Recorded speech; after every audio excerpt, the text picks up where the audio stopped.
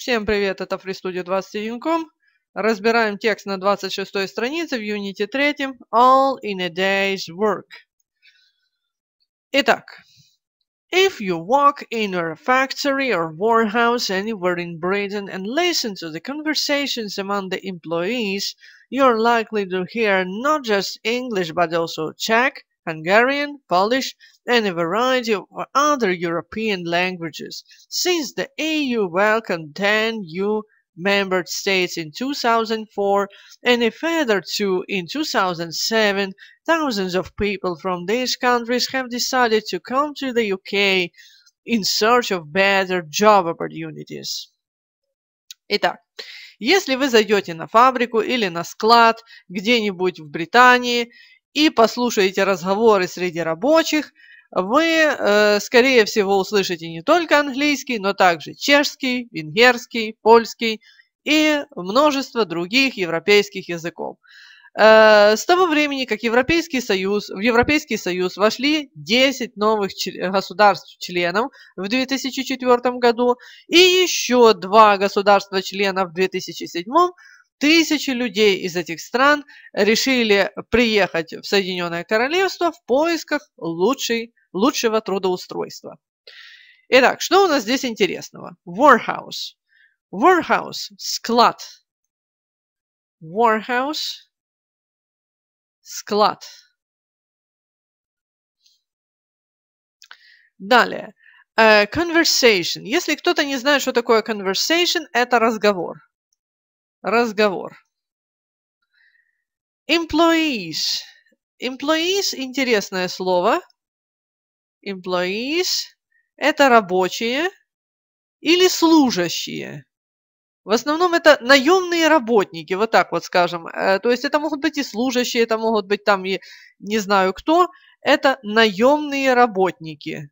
Это могут быть и офисные работники, и не офисные, неважно люди, работающие там где-то по найму за зарплату. You are likely to hear.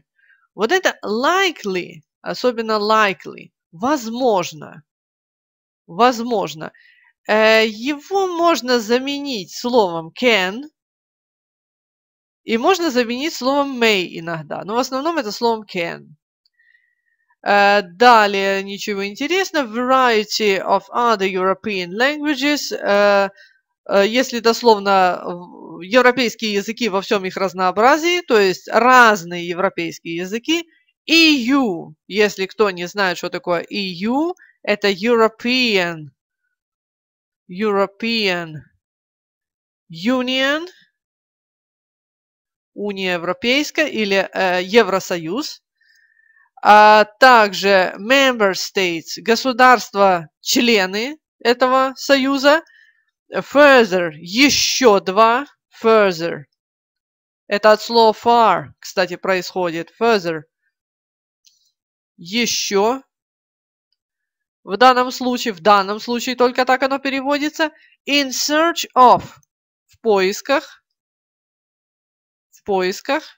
И job opportunities – лучшее трудоустройство. Если дословно, возможности для работы. Трудоустройство. Ну, слово «лучшее» можно взять в скобки. Лучшее, не лучшее. Но как бы это ни было, трудоустройство. Это точно. Едем дальше. Следующий абзац. Britain is one of only three EU countries that gave full rights to work to immigrants from the 10 countries which joined in 2004. An independent survey of almost 2,200 British companies shows that 12% of employers now employ workers from these new EU states. Many are highly skilled uh, the stereotypical image of unskilled workers from New Europe is not accurate, as thirds have taken jobs as administrators and supervisors. Only 4% work in construction. Итак, что мы здесь имеем? Британия одна из лишь, четы- лишь трех европейских стран, э, которые дают полные права для работы иммигрантам из 10 стран, которые недавно присоединились к Евросоюзу в 2004 году. Независимое исследование или независимый опрос, скажем так, независимый опрос э, около 2000, 2200 британских компаний показывает, что 12% работодателей нанимают рабочих из э, стран Новой Европы. Многие э, имеют высокую квалификацию, и стереотипный образ неквалифицированных рабочих из Новой Европы не точен или неправилен. Э, треть из них получают работу администраторов или бригадиров, и только 4% работают на строительстве. Итак, что мы здесь имеем? Immigrants я писать не буду, я думаю, и так все понятно. Full rights – полные права. Полный объем прав. Полный объем прав. Или права в полном объеме. Как хотите, говорите. А, далее, далее Independent Survey. Survey – это опрос. Соцопрос имеется в виду. А далее, тут ничего интересного. Теперь обратите внимание на слово employers. У нас было employees, а теперь у нас employers. Не путайте эти два слова. Они означают диаметрально противоположные вещи. Employers – это работодатели. Работодатели. Предприниматели, хозяева предприятий, работодатели. А employees – это наемные работники. Всего-навсего одна-две буквы, а какая большая разница. Едем дальше. Employ – нанимать. Employ – нанимать рабочих. Нанимать. Далее. New EU States. Вот это выражение означает страны новой Европы, то есть те, что присоединились к Евросоюзу э, в начале 2000-х годов э, страны, их так и называют, страны новой Европы, в кавычках, новой Европы. Это нормально, это не, оби не обидно, так принято.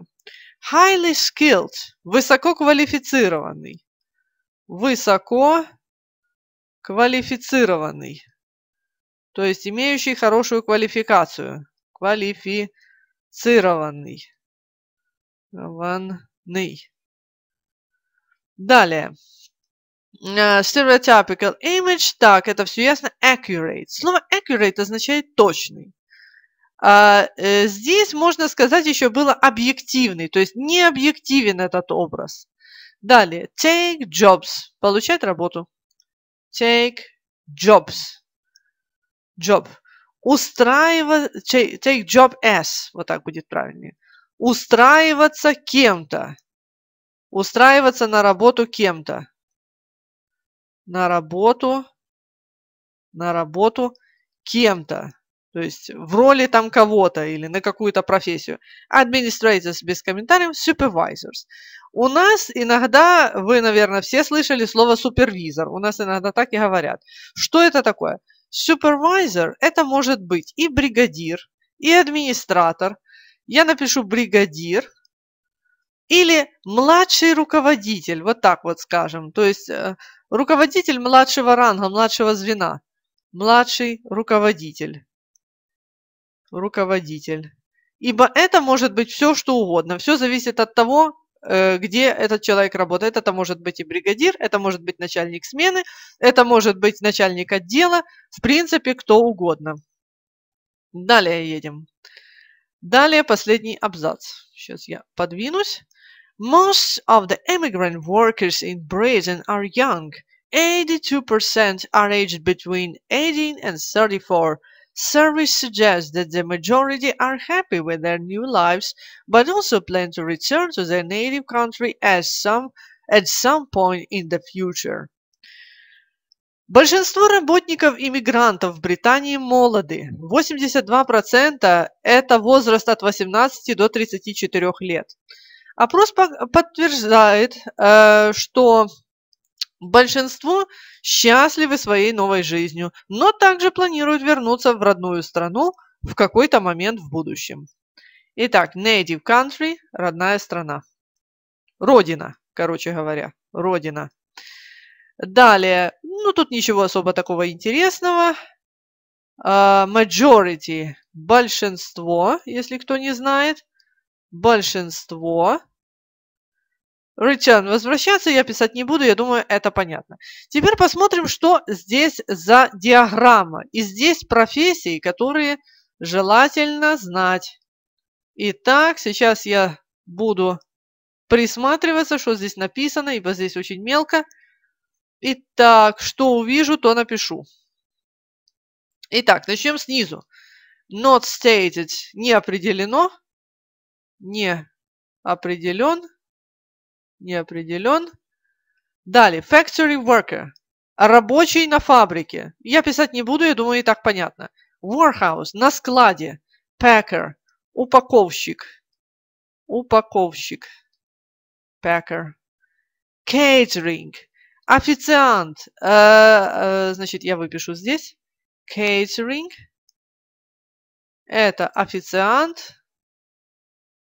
Работник общепита, скажем так. Работник ресторанов, баров там и все такое. Это не обязательно официант, это может быть э, э работник ресторанного бизнеса, скажем так, в ресторане. То есть это может быть и доставка на дом там где-то какой-то еды. Короче говоря, это работник общепита. Cleaner – уборщик. Уборщик. Farm worker. Я не буду писать, я думаю, понятно, что человек, работающий на ферме. A waiter, waitress. Вот это опять официант. Вот это уже четко только официант. Если здесь может быть доставка какая-нибудь, то здесь у нас точно waiter, waitress, официант. Waitress, я не вижу, что я пишу. Официант, я не буду писать официант. Официантка, ну, официантка женского рода, я не уточняю уже.